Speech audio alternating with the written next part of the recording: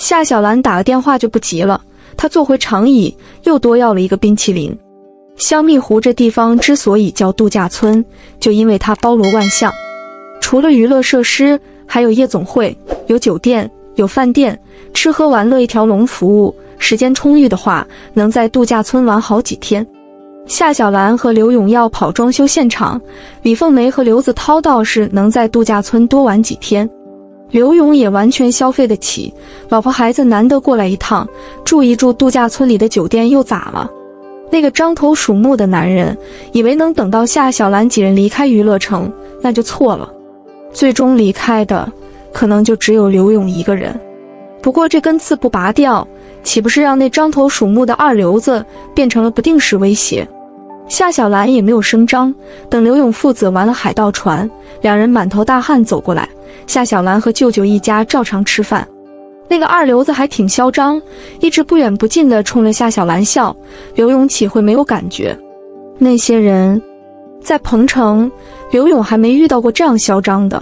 毕竟他手下管着几十个工人，一般人哪敢主动招惹他？可惜刘勇没有王霸之气，前拥后簇的跟着几个人吧，他也不太像老板。身边要是没了跟班衬托，就更不起眼了。被彭城的太阳晒得黑不溜秋，一点也没有派头。一家人来香蜜湖玩，奉行财不露白的传统美德，穿的都很普通。夏小兰这样好看的年轻姑娘，出门在外，要是没有看起来就不好惹的人跟着，真的容易招惹是非。夏小兰拿这张脸一点办法都没有，妖娆不端庄，好桃花没开几朵，总招惹些混混流氓。听见刘勇问，夏小兰冲着舅舅使了个眼色。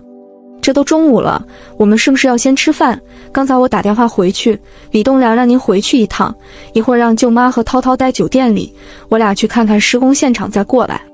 生舅俩加起来要投资一百多万，工程要是有问题，钱就全部打水漂。一想到这个，李凤梅晚上睡觉都在愁，哪里会拦着？她道：“我和涛涛自己在这里玩两天也行，你们先去忙。”刘子涛更没有不舍，度假村这么大。他还有没完的游乐设施，之前还黏着夏小兰，现在连表姐都要往后靠一靠了。吃过午饭，夏小兰估摸着时间，就和刘勇慢悠悠往度假村外面走。这时候是下午两点，一天中最为困倦的时候，度假村里也没上午热闹了。玩累了的游客都要找个地方歇脚。那几个人果然在后面跟着。刘勇把拳头捏紧，夏小兰低声道：“您别急。”瞧见前面停了一辆卡车，夏小兰心中一松，后面的人已经等不及了，快步追上来，想要拉扯夏小兰。呸！臭婆娘还敢踢老子！夏小兰刚好走到卡车边上，车门猛地被推开，跳下来短头发的白珍珠，一下就把獐头鼠目的男人按在地上，骂道：“要调戏女人，也要睁大狗眼睛瞧清楚，是不是你能惹的人？”白珍珠的力气太大了，她在小商品市场做生意，三教九流的人都要打交道，穿衣打扮都偏男性形象，一般人还真看不出来她的性别。他是一脚能踢掉杜兆辉大牙的人，打了港商也没见谁收拾他。杜兆辉是忍一时之气，却也嫌白珍珠这样的江湖人麻烦，不想招惹。江湖人还特别讲义气，接到夏小兰的电话，立刻就杀了过来。你他妈谁呀？放开老子！不然别想走出村子。白珍珠一下就笑了，哟，村霸呀，这还真是个村霸。香蜜湖度假村这块地方以前叫香茅湖，湖边长满香茅草，就是边陲小渔村。后来外商来投资，市政府将这一大片土地划为度假村，原本的当地居民迁出，算是八十年代的拆迁。拆迁当然要有赔偿，拿钱拿房，也不种田，也不打鱼了。这些人就游手好闲起来。獐头鼠目的人就是原来村长的儿子。白珍珠捂住胸口道：“我好害怕，你爸真是个大官儿。”夏小兰好想翻白眼，白珍珠都快变成老油条了，很有戏精天赋。别和他耽误时间。白珍珠一个人打好几个没问题，人家是村长的儿子，在这一带是一呼百应。很快就冒出十来个人，把卡车围住。刘勇都一惊。夏小兰特别淡定，白珍珠敲了敲车厢，叮叮哐哐的，一下子冲下来几十个满身灰尘的工人。这是把施工的装修工人都拉来了呀！这些人也真沉得住气，直到白珍珠敲车厢才现身，个个都规规矩矩的冲刘勇叫老板。刘勇的眉头舒展了，很豪气大方，道：“今天就当放半天假，工资还是按一天的给。这些狗东西要是敢反抗，就使劲给我打，打伤了我出医药费。”耍流氓的差点没吓尿，就是摸了一下腰。这些人是要把村子当平还是咋的？二流子的脸还被踩在地上呢。夏小兰蹲下身看他，笑着道：“你经常干这种事吧？那我可要替女同胞出出气了。摸腰也就罢了，夏小兰反正也踢了对方，可一直不肯罢休，盯了他几个小时，非得要守到他离开度假村，不就是想到了人少的地方干点啥坏事吗？”夏小兰把帽子扔到对方脸上，就像是下令动手。白珍珠的手像铁钳一样，捏得对方嗷嗷叫。鼻涕和眼泪一起飞，还有尿骚味儿传来。说揍就揍，连帮凶也没放过。夏小兰就在一边站着，好像担心白珍珠会手软似的。杨杰也在装修工人里，时不时凑上去补一脚。他脑袋有点懵，一定是太阳毒辣晒得他眼花。娇滴滴的小兰姐咋这么凶？那天他姐咋说的？别不信小兰姐，都是为了照顾姐弟俩，小兰姐才跑这一趟。杨杰低着脑袋，他万万没想到小兰姐是这样的大佬，以后一定要更尊重小兰姐，尊重刘永叔。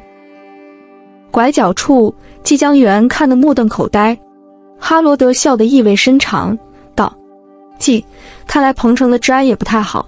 你的朋友就是那位漂亮的女孩，她是华国的黑手党吗？不，华国没有黑手党，我们是法治国家。”我们是法治国家。夏小兰同学是华清大学的优等生，是拿奖学金的标兵人物，不是让人忍不住想点烟的女大佬。这是什么打开方式？在彭城给他爸身边的秘书打个电话，也比拉一车工人过来，搞得随时都要械斗的场面强吧？娇滴滴的人原来是这样匪气。季江元脑壳痛。夏小兰不是开玩笑，他说要让他妈跪长安街道歉，看样子不是假话。其实，要说夏小兰多凶狠吧，还真不是。动手的是白珍珠和装修工人们，他又没沾过手。但从头到尾，他一直都很淡定。而且白珍珠再能打，明显也是听他的。这就是大佬作风嘛。哪个大佬会亲自动手的？只会失了身份。季江源都觉得眼睛疼。新生欢迎会上，一聊天就发现有趣又有内涵的夏小兰同学，竟然还有这么凶残的一面。季江源吃惊归吃惊，莫名又有点想笑。哈罗德先生，既然我朋友不需要帮忙，那就不用麻烦您了，耽误了您的正事，我很抱歉。哈罗德看了季江元一眼，季，这不是我的错觉吧？你不希望我接触他吗？哈罗德又不是发情的种马，见到漂亮的异性就会扑上去。什么东西方的审美差异都是瞎说。白种人、黄种人和黑人，哪个人种都有长得好看的。真正的漂亮能打破不同人种的审美壁垒。要哈罗德说，这个介于女孩和女人之间的华国黑手党小姐是很火辣的。火辣不仅是身材，更不是粗俗的言语，而是一个女性骨子里透出来的热辣。极致的性感不是裸露身体，是这样隐隐的撩人。不。我想您在彭城的考察比认识一位华国女孩更重要。季江源的说法，哈罗德是否认可尚且不知。他身边的几个跟班真想疯狂点头，烈焰什么时候都行，来彭城考察投资才是正事啊。显然，季江元说服了哈罗德，他收起脸上的兴趣，道：“走吧，黑手党小姐看起来能解决自己的麻烦，不需要骑士的拯救。”虽然又有一群老老少少手里拿着农具冲出来，黑手党小姐依然不惊慌，想必是能解决这个麻烦的。打了小的，又出来老的，这边有几十个装修工人在，夏小兰倒是不怕。说句不好听的，自己儿子啥样，心里没点逼数吗？要不就认怂，把自己儿子领回去；要不大家就去派出所。对方看下小兰态度这么横，也摸不到他这个外地人的底细。动不动就拉一大卡车工人来打架，一般的村霸也惹不起的。这年头能在彭城搞工地的，也不可能是一般人。外地人想有这样的局面更难，肯定是有关系背景的。领回儿子还要说几句场面话。夏小兰笑呵呵地打断对方：“都是当坏人，就算在监狱里杀人放火的都鄙视强奸犯，对女人耍流氓算啥男人？他要是还敢耍流氓，我见一次打一次。”夏小兰对这种人是深恶厌绝的。到底是压不过夏小兰的气势，加上他们那边理亏拿着锄头扁担冲出来的村民又灰溜溜走了，装修工人都欢呼，他们打架也有轻重。夏小兰不惹事也不怕事，这种处事风格瞬间就深入了人心。刘勇说放半天假，说到做到，让这些人自己找乐子去。夏小兰问刘勇。舅妈和涛涛还在度假村里，这些村民在我们这里吃了亏，会不会去找他们麻烦？刘勇以前就是游手好闲的，对这些人的心态很了解，道：“一旦认了怂，再想捡起胆子就不容易了。再说了，能搞度假村也不是吃素的，你看他们在园区咋不敢动手？”度假村靠游客赚钱呢，游客里还有好多港澳同胞。香蜜湖是鹏城打造的观光旅游的展示窗口，谁要在度假村搞事，投资人不会放过他们，政府也不会姑息养奸。李凤梅和刘子涛待在里面，其实再安全不过。夏小兰也认同，又道：“等他们玩够了，还是让人来接一下。”说完，他看向街角，不知道为啥，他总有种刚才被偷窥的感觉。可看过去，分明又什么动静都没有，真是被个二流子搞得疑神疑鬼了。夏小兰瞧见杨杰也在，刻意叮嘱他：“今天的事别告诉你大姐。”知道了，小兰姐。杨杰声音很大，挺着胸膛，好像接受首长检阅的士兵。夏小兰想了一会儿，恍然大悟，顿时失笑：“你不用这样，我平时又不是这种人。”杨杰使劲点头，心里却不信。平时不是这种人，那又是哪种人？行行行，你是大佬，你说算。放半天假，赶紧回去休息。夏小兰也无语了，满脸都写满不相信，让他还如何把天聊下去？杨杰干了几天活，的确很辛苦，他没有技术，只能干小工。所有辛苦的重活都是小工干的，大师傅贴砖，小工得搬运，得背砖上楼，得调水泥灰，也不是谁欺负杨杰。这就是工地上的规矩，要不请小工干啥？不就是替有技术的大工分担吗？哪个行业想学点技术都不容易，像这种装修，要想有经验的带杨杰，那得先把打杂的活干好。有大师傅觉得杨杰顺眼了，才会说点技术关窍。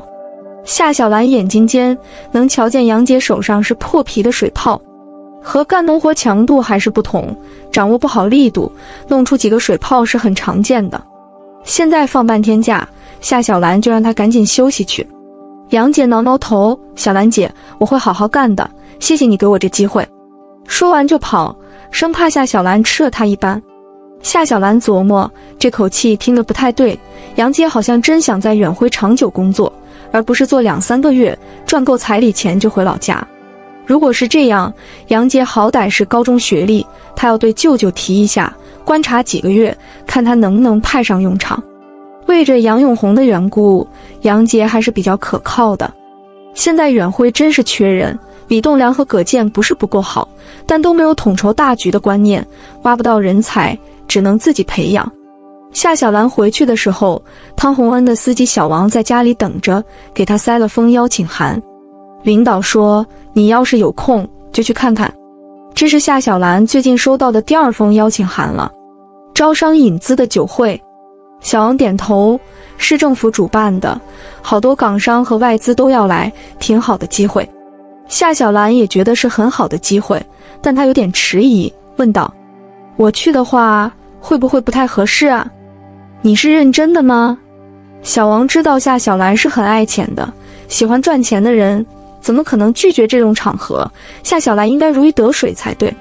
夏小兰把邀请函揣好，道：“当然是假的。”我只是习惯性谦虚而已。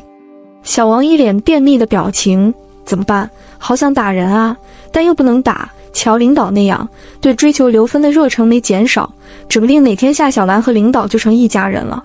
因此，只能可怜他这个当司机的。小王觉得自己可怜巴巴的。夏小兰叫他吃晚饭也不肯，开着车就跑了。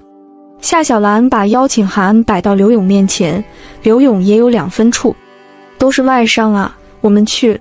那正好啊，看看南海酒店的装修完了，有没有合适的项目接档呗。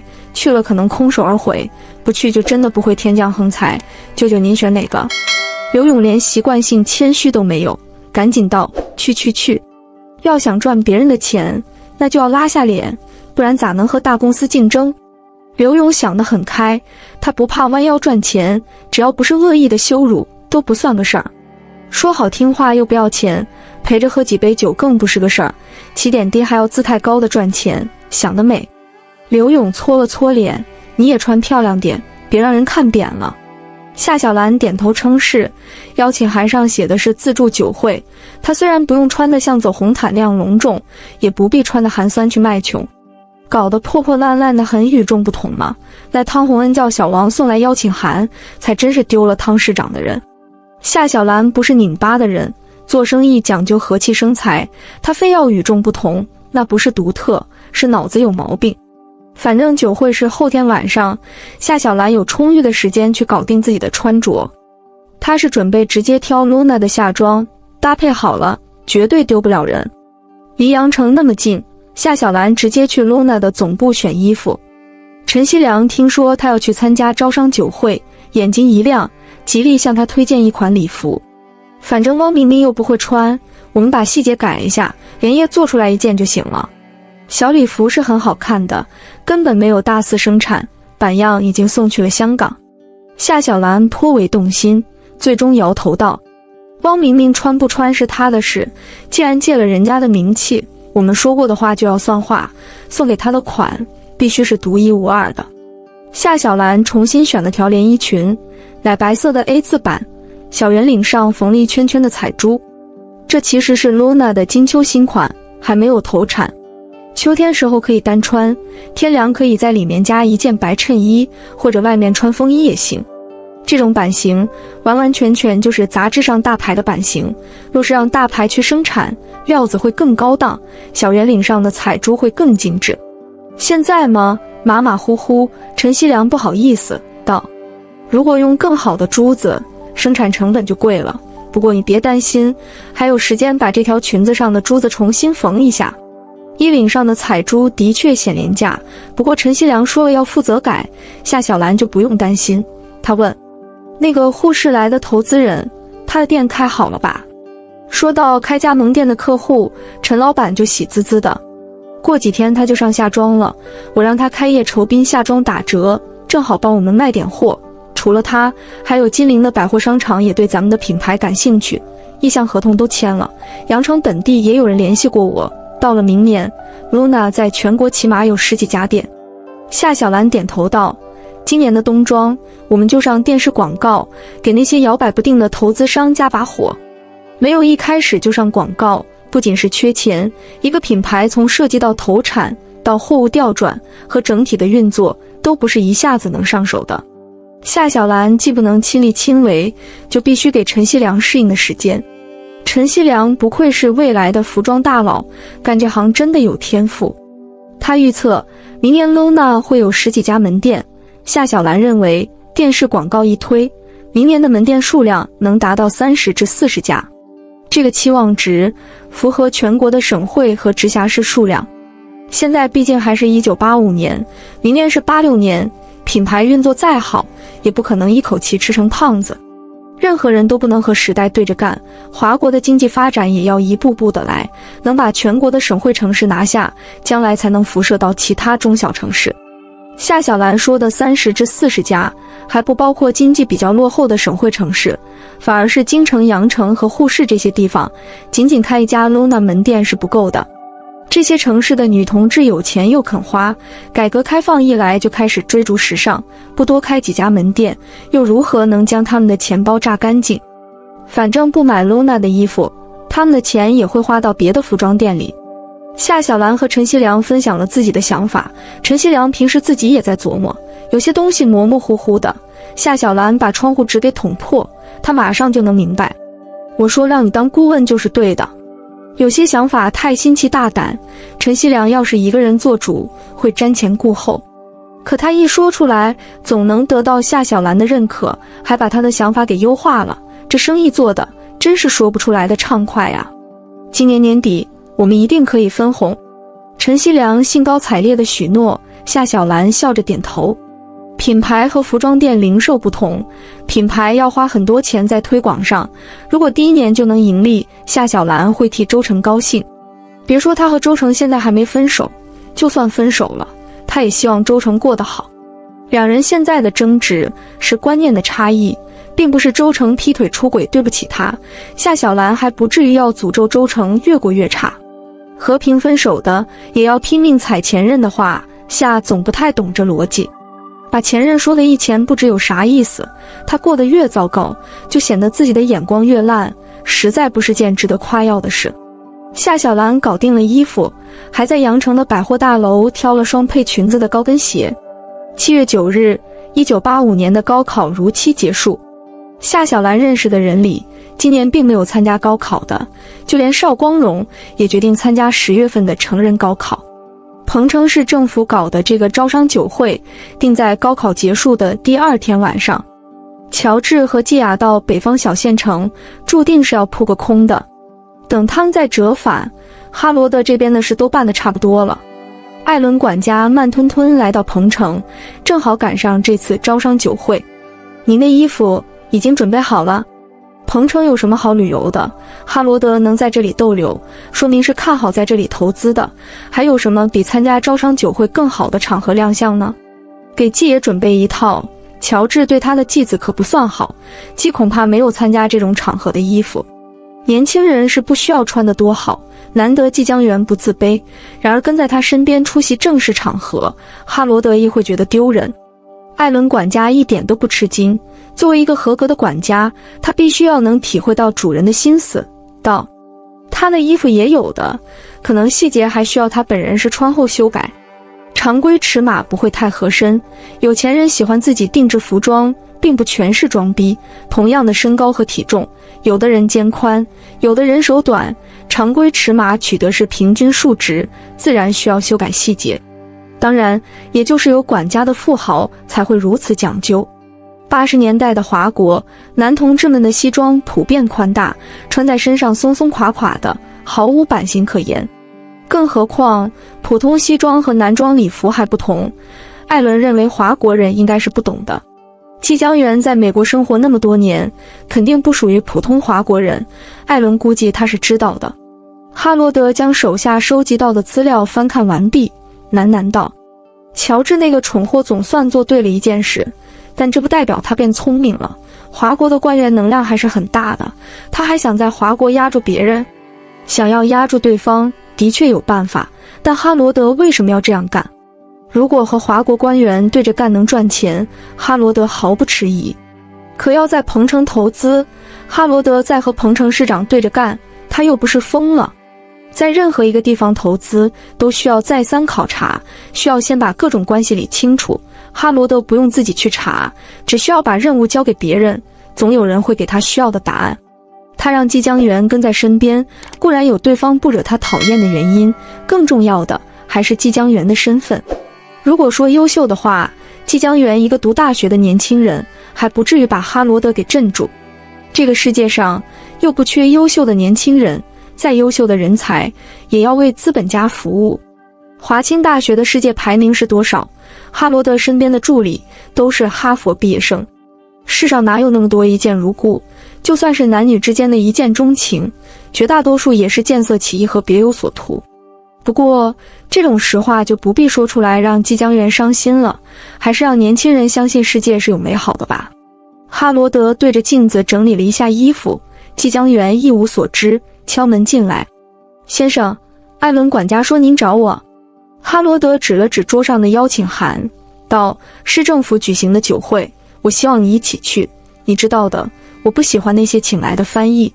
这就是季江源的工作范围了。一百美元一天的高薪并不是那么好赚。他不仅需要当哈罗德的玩伴，这种正式场合，季江源还要担当翻译。季江源肯定不会拒绝。”从京城到彭城，他都没能摸清哈罗德的意图。市政府办的招商酒会，对方会暴露投资目标的。何况哈罗德的确算慷慨，这些天，季江源的吃住水平都和哈罗德完全一致。出席酒会还给他准备了礼服。季江源摸着衣服的料子，就知道价值不菲。这种档次的衣服，就算他没和家里脱离关系时，也不是季江源的消费水平。他不由皱眉：哈罗德对他实在有够大方，是亿万富翁不在乎小钱吗？要不是亲眼看见哈罗德对着女服务员调情，季江源肯定忍不住怀疑对方的性取向。有夏小兰打点，刘勇出席这样的场合，不至于衣着不得当。松垮垮的西装肯定是不能穿的。从刘勇开始做生意，夏小兰就早早培养他的穿衣习惯。个子本来就不高，再套上松垮不合身的西装，真的很不好看。所以他的衣服比不上大牌高定，那也是找好手艺的裁缝定做的，一直就是商都那位老裁缝，料子是越用越贵，一口气做了十来套。正式场合，刘勇并不缺衣服穿，叫了个出租车去会场。在路上，夏小兰试图让他舅舅放松。自助酒会也没什么的，食物都放在长桌上，服务员端着酒水满场走，你想吃什么就拿什么，不要动油腻多汤的东西就行，容易把衣服弄脏。要是紧张，咱们进门就端一杯酒，喝不喝都行，反正手上抓着东西，手就知道放哪里了。刘勇就纳闷儿，问道：“大学还教这些呀？”夏小兰笑眯眯的：“我跟着书上学的，外国电视里也有吗？反正您不用紧张，咱要是真的能轮上和外商说话，还有我给您当翻译呢，港商就更不用怕了。粤语您不会说，听懂是没问题的吧？来内地做生意的港商，不管普通话好不好，也要拼命说一说的。外商也不怕，英语基本上是世界通用语了。夏小兰认为以自己的水平充当下翻译没问题。刘勇被说服了。”夏小兰今晚虽然穿得好看，却也简单清爽，瞧着就像进餐厅吃饭的。只不过客人们的档次高了点。刘勇的确不紧张了，他也是经常和市长吃饭的人。进了会场，刘勇眼睛花，平时也没见彭城有这么多外国人啊，这是全凑到一块了吗？夏小兰和刘勇的到来其实也没掀起什么波澜，他俩又不是啥大人物。那些不动声色的打量，更多是因为夏小兰的美貌。角落里，唐月月推了推杜兆辉：“兆辉，你看那个生面孔呀。”杜兆辉一看，哟，这不是夏小兰吗？他道：“玫瑰花虽然又香又美，却是有刺的。唐大哥，你要慎重下手啊！也不知道夏子玉能整容成什么水平。要是长得有自己堂妹七分水准，他也犯不着送对方去整容。”夏小兰今晚着实亮眼。杜兆辉往常见她，虽然不土气，到底是清汤挂面的造型。精致的脸上，浓妆淡抹都相宜，再换上小礼服裙，杜兆辉承认自己都移不开目光。这女人有男朋友不算什么，难搞的是本身的强势啊。杜兆辉说：“夏小兰是带刺的玫瑰。”唐月月大笑道：“我不怕扎手。”男人和女人交朋友是很正常的嘛，除了口味特别的，夏小兰那款正是男人会喜欢的。唐媛媛对夏小兰很有兴趣，向杜兆辉打听基本情况。在京城学建筑，有一个男朋友是京城高干之子，你其实早就和他打过交道，只是你不知道而已。帮东风控股拿下了南海酒店装修的，就是他舅舅的公司。那个见鬼的无边界游泳池，就是他的设计啦。唐媛媛既不信邪，杜兆辉很想她能去碰碰钉子，也就知无不言了。果然，杜兆辉这样一说，唐媛媛更有兴趣了。赵辉，一个女人漂亮已经是上天的赏赐，她有骄傲的资本。如果再有点小才华，那她脾气坏点就更正常了。总之，不是娶回家，做个朋友而已。你说的太夸张了。高干子弟的男朋友，唐媛媛根本不在乎。因为美华主要会在鹏城发展，天高皇帝远，他真不怕京城的官员。追女仔都是各凭本事，香港有钱人那么多，有时两个豪门小开同时瞧上某个女星，难道把家产和背景一一亮出来呀？那样也太低端了。唐媛媛端着酒杯走过去，杜兆辉心里颇为阴暗，要等着他灰溜溜被拍回来。哪知不知道唐媛媛说了什么，竟和夏小兰相谈甚欢。隔着人群，杜兆辉差点被夏小兰脸上的笑给晃花了。不应该呀，没理由唐媛媛待遇那么好，难道姓唐的长得比他英俊？杜兆辉摸了摸自己下巴，除了个子不算高，他长得又不丑。夏小兰什么品味？之前交往那高干子弟不挺帅的？难道已经被甩了？这是要重新寻找目标吗？那找唐元月可就找错了。杜兆辉百思不得其解。过了十多分钟，唐元月回来了，眉梢都是春风得意。赵辉和夏小姐聊天真是如沐春风，哪有你说的那样尖锐？明明是性格随了长相，带着娇异的声音，让见多识广的唐元月都浑身酥麻。杜兆辉不肯信，他和唐元月说的是同一个人吗？杜兆辉也不想想，他和唐元月两人与夏小兰认识的情形截然不同。第一次见面，杜兆辉就以夏大军雇主的身份，径自要安排夏小兰去香港，而后又鄙视对方学的专业，说他应该去香港当明星。再然后，杜兆辉的车速太快，导致了车祸，一次比一次印象糟糕。夏小兰又岂会对他好声好气说话？唐月月就不同了。今天是招商酒会，刘勇知道唐元月是美华的老板。远辉的项目虽然是东风控股给的，那美华也是南海酒店的股东之一，也就是说，远辉也算在给美华干活。美华和东风控股的争斗，关夏小兰何事？唐元月以南海酒店的装修作为切入点，和他谈的是国外的建筑大师，这种话题风雅有内涵，最适合眼下的场合。夏小兰难道会沉着脸叫唐元月滚蛋吗？实际不同，聊天的人也不同。称荣集团涉黑，美华的背景却是干干净净的港资公司。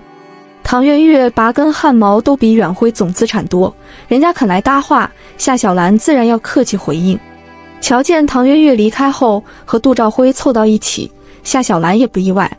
杜兆辉和唐元月是两回事，夏小兰分得很清。唐元月主动来攀谈对方的心思，夏小兰更是心知肚明。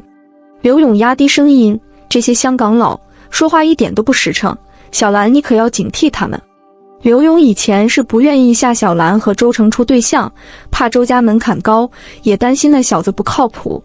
可到了南方之后，隔海的小报和杂志经常传到彭城。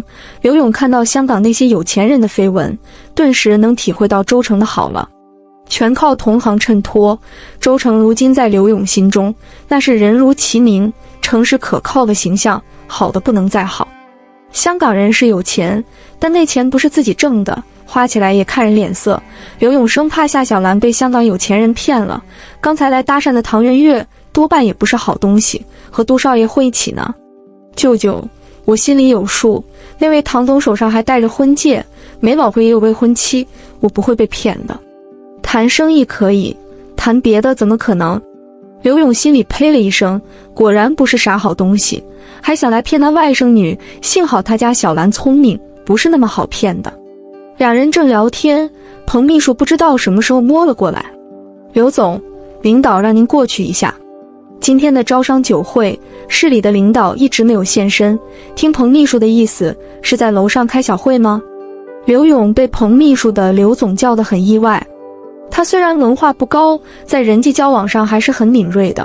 不知是不是错觉，汤市长身边两个人，司机小王一直对他很热情，这位彭秘书却不远不近的，哪曾这样亲热叫过刘总？